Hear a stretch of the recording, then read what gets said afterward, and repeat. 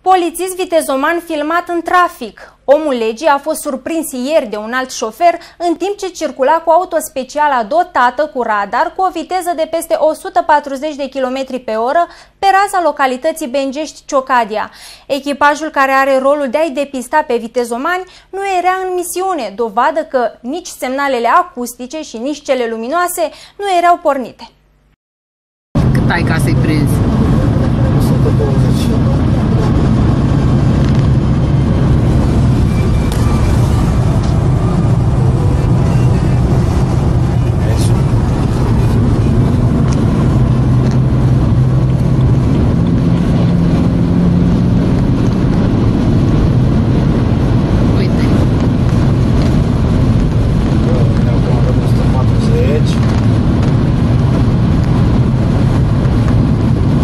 Un conducător auto a surprins momentul în care echipajul de la rutieră circula cu o viteză de aproape 3 ori mai mare decât cea permisă în localitate. Cazul a ajuns în atenția superiorilor agentului care se afla la volan. Conducerea IPJ Gorj s-a autosesizat și a dispus efectuarea unor verificări cu privire la aspectele prezentate în filmarea de pe site-ul dumneavoastră.